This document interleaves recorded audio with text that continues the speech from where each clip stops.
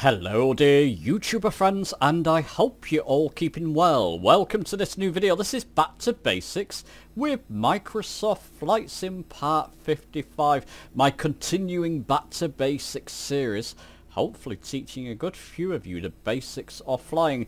In this one we're going to cover again NDB navigation. NDB ADF navigation in fact. Now I did do a previous video on this in my Back to Basics series. I want to cover this one again for Flight Sim 2024 and there's a couple of specializations with settings that you need to be aware of for certain NDB uh, navigational points. So that is what we're going to cover in this video. So let's not dilly-dally. Let's get on with this video.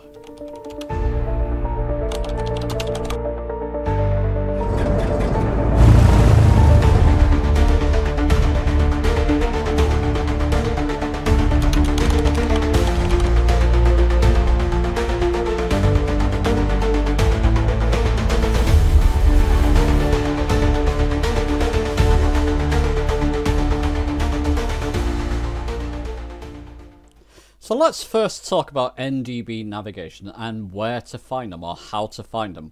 Now I am an ambassador for Navigraph charts and this is my preference generally when I'm flight planning. When I want to do stuff like this, absolutely Navigraph is the place to go for me. Again, I'll link a video about Navigraph below. That's the reason a whole lot of us use it. Now I'm going to be setting off from London City Airport, which is there. The NDBs in Navigraph are these ones with the sort of inner circle and outer circle. They're all over the UK, as you can see. You can actually click on one. I'll click on the Chiltern, because it's one I'm going to be heading towards, and it will tell you it's an NDB. And basically, it just sends out radio frequencies. It's like a think of spokes of a tyre. So wherever you're flying, it will send out a frequency for you to fly towards it. You just need to tune into it, which is this frequency, and then using your uh, NDB uh, indicator, which I'll show you later, you can just set a heading towards it and fly towards it. So if your fancy smancy uh, GPS system fails, or has a breakdown or mal malfunction, you can always rely on NDB navigation. It was used for many, many years, way before GPS and all that stuff came in. So there we go, we're going to take off from London City. I've clicked on Chiltern, that'll be our first one.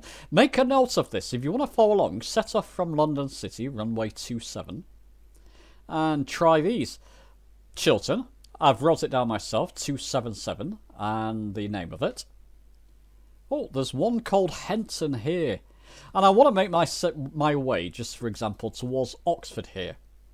And uh, the one over Oxford will actually lead you to Oxford uh, Airport, which is there, as you can see, EGTK.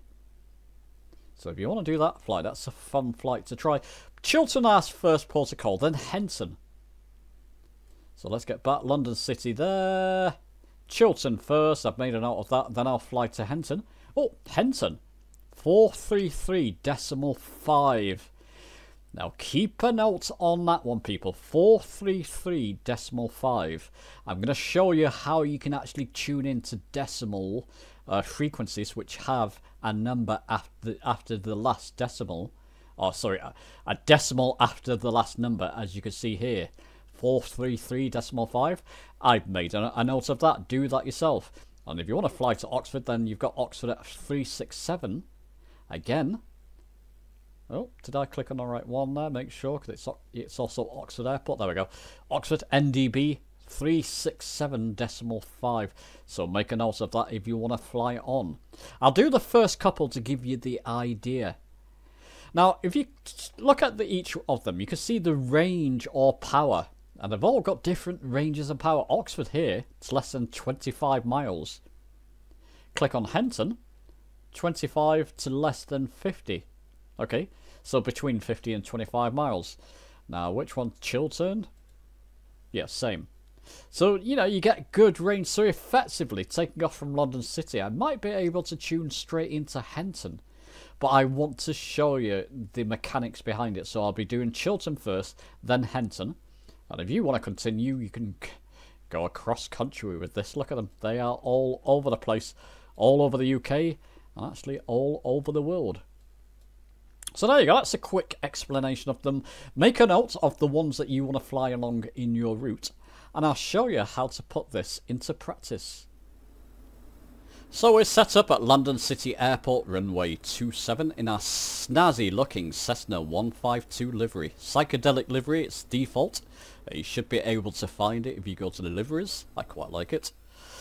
And in the aircraft, I've got my uh, instrument view 3 set up to show my ADF panel and my ADF uh, bearing indicator panel here so I can get to them quickly with instrument view 3. So you can set up something similar uh, on the default Flight Sim 2024 keyboard. I think it's shift and 3 but you have to set the instruments up. You have to set the view up first and then save it as instrument view. I've got it set up as instrument view free. You can save it as whatever. As whatever. And what we do, these ADF knobs down here, so let me go through this again. Make sure that it's on what I've got them set to here, and these are by default when you spawn in. The ADF knobs, remember before I showed you Chiltern 277 frequency and Henton 433.5.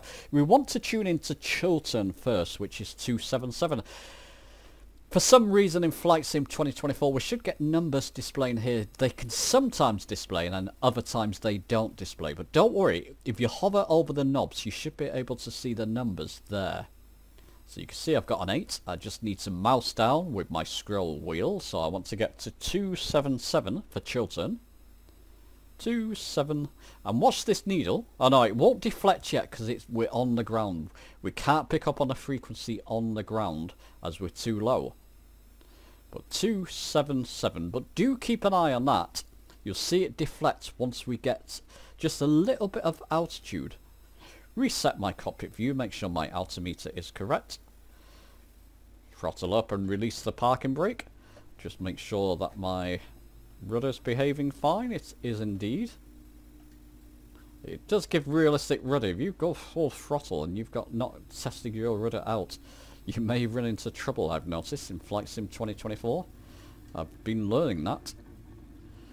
Right, so throttling up and we'll take off. Remember we got flaps in as well, so we'll raise our flaps. Oh, that's fine. Not the most graceful takeoff. This is a very fluid aircraft, the Cessna 152, I've noticed uh, small movements can really make a difference in this aircraft. Have you noticed, Watch in a moment, you watch this needle, see it's deflected. And we know Chiltern is this way, so if we come down to that panel, we just need to head in that direction. Mentally impose this needle on your heading where you should be heading to and that's going to make it easier for you as well.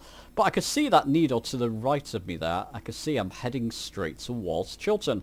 Now Chiltern, we're in the Cessna 152. It's going to take a bit of time for us to get there because it's actually past all these buildings, past Heathrow, which is way up there.